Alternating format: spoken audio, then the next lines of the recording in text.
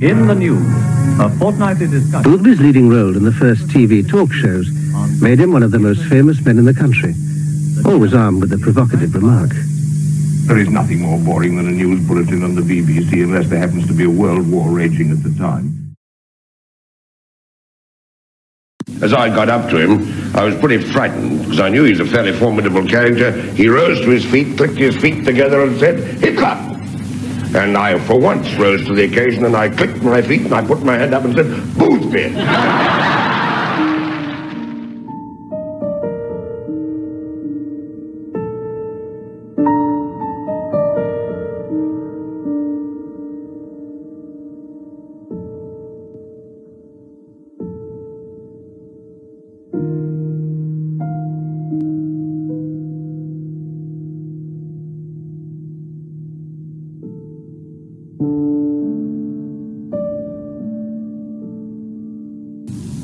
As soon as I started talking to any of the people round the Krays, they'd all say the same. They'd say, of course, you see, Bob Boothby, he was a friend of Ronnie's. Ronnie used to get him boys. He was always down at East End.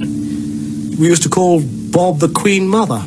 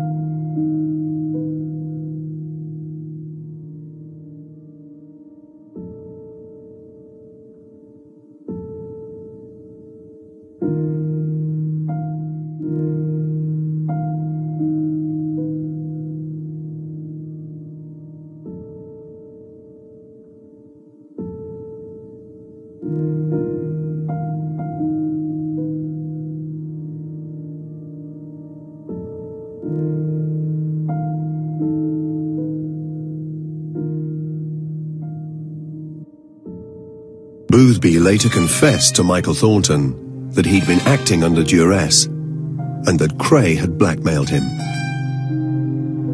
He said to me rather pathetically, I can't do anything, I can't do anything. You see, they, they've got too much on me. Leslie Holt told me, quite a long while after all of this, that they had damning photographs.